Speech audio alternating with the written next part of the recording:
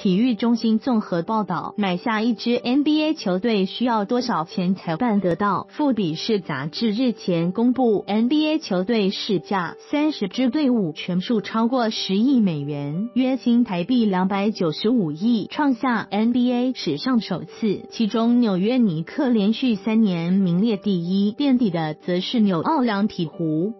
根据富比士统计，二零一四年平均一支球队六。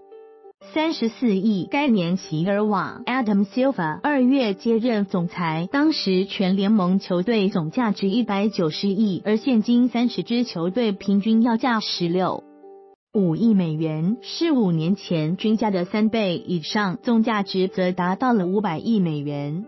尼克连续三年第一。资料照，美联社。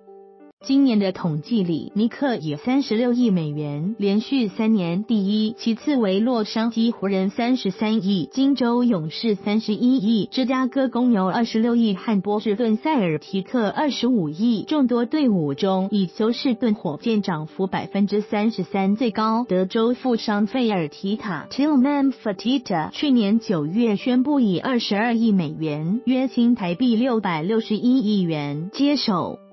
而最受瞩目的，则是金州勇士。一九九一年，勇士以五千万美元登上排行榜第十八，但他们在二零一零年以四五亿美元被收购，当时创下 NBA 纪录。现在的加码又成长了七倍，二座总冠军和即将在两千零十九至二十启用的新球场大通中心，皆是增值的原因。